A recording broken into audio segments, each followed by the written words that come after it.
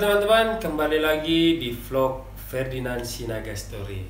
Di vlog kali ini saya akan uh, menunjukkan dan membahas piagam-piagam yang saya raih selama saya berkarir di dunia sepak bola. Saya akan menunjukkan satu-satu dan menceritakan di mana piagam ini saya raih. Nah, ini yang pertama uh, piagam yang saya raih di tahun 2006.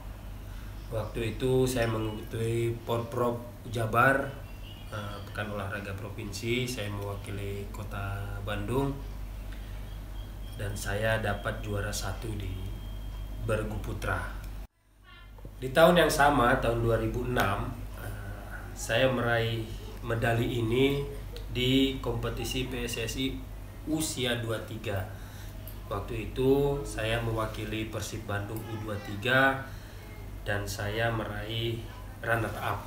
Jadi ini medalinya di kompetisi usia 23 tahun 2006. Dan piagam yang ketiga ini ini saya dapat waktu tahun 2008. Di tahun 2008 itu saya mengikuti kompetisi Indonesia Super League eh, kelompok umur U21. Saya bermain untuk Pelita Jaya dan finalnya melawan Persita Tangerang.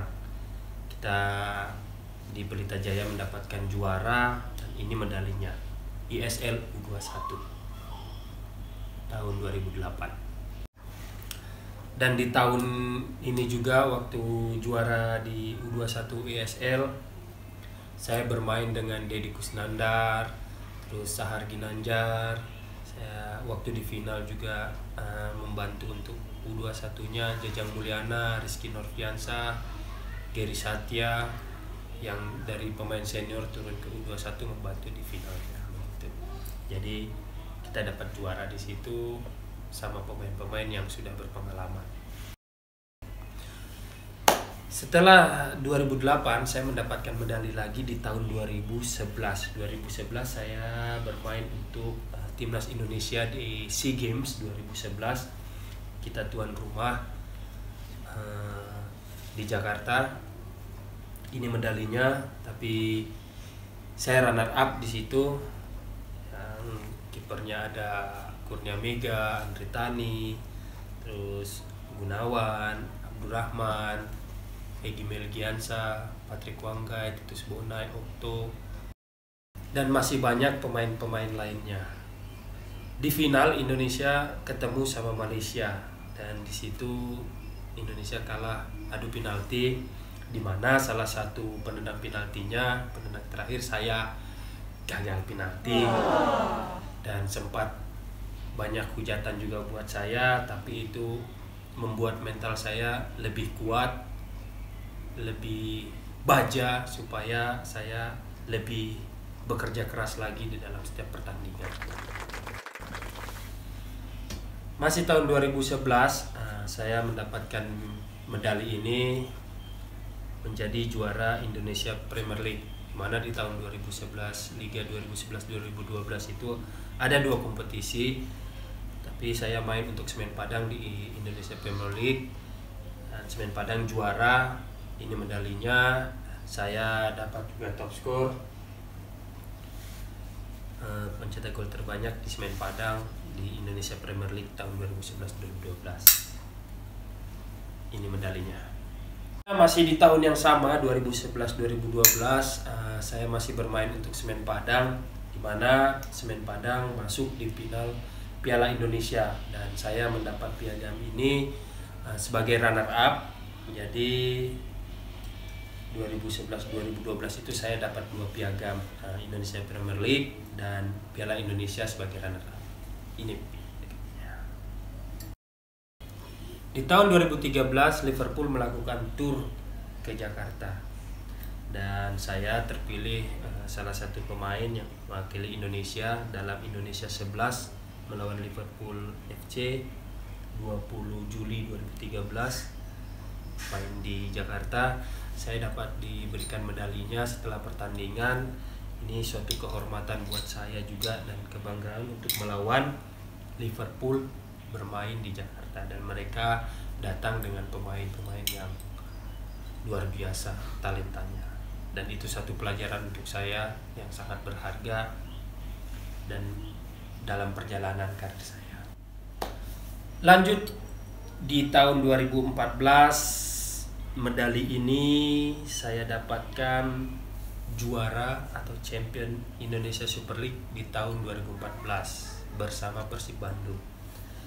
Selain medali ini saya juga dapat uh, pemain terbaik ini pialanya perjalanan karir yang yang luar biasa juga di tahun 2014 untuk saya karena saya mendapatkan double jadi juara dan mendapatkan pemain terbaik dan itu satu cerita yang yang akan saya ceritakan ke anak cucu saya.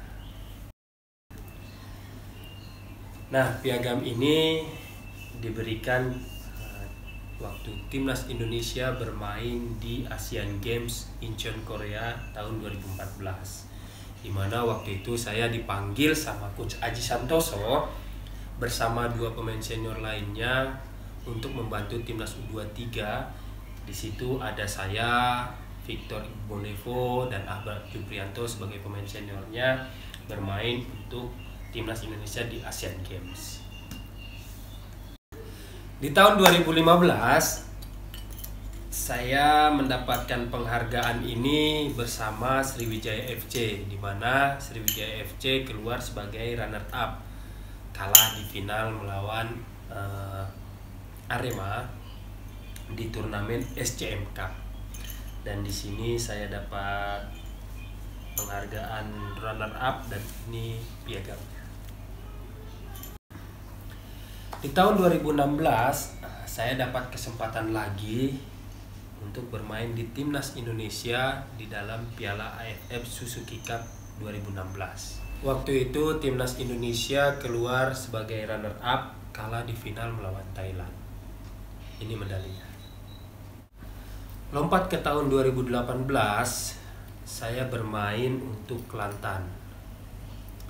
Waktu itu ada pertandingan segitiga antara Kelantan FA mewakili Malaysia, Persija Jakarta mewakili Indonesia, dan salah satu tim dari Liga Thailand. Nah, ini medali Piala Indonesia bersama PSM. Mana PSM menjadi juara itu final lawan Persija Jakarta. Setelah empat tahun saya bersama PSM, baru tahun 2019 saya memberikan uh, medali juara. Mudah-mudahan saya masih bisa memberikan medali lagi bersama PSM. Nah, teman-teman semuanya, sekian cerita dari piagam-piagam yang saya raih selama saya berkiprah di dunia sepak bola. Semoga cerita saya ini bisa menginspirasi teman-teman semuanya, terkhusus buat pemain bola yang masih muda, yang masih berkarir panjang, Mudah-mudahan tetap semangat, tetap berusaha untuk meraih sesuatu. Jangan mudah menyerah, tetap kerja keras, dan ingat, andalkan Tuhan dalam setiap pekerjaan. Horas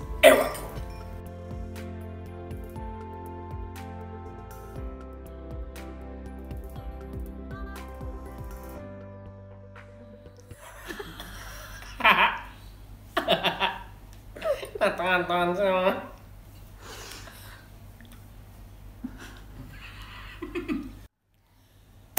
Nah, teman-teman semuanya, sekian cerita dari penghargaan yang saya raih.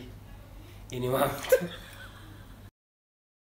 Nah, teman-teman semuanya, sekian cerita dari penghargaan yang saya raih.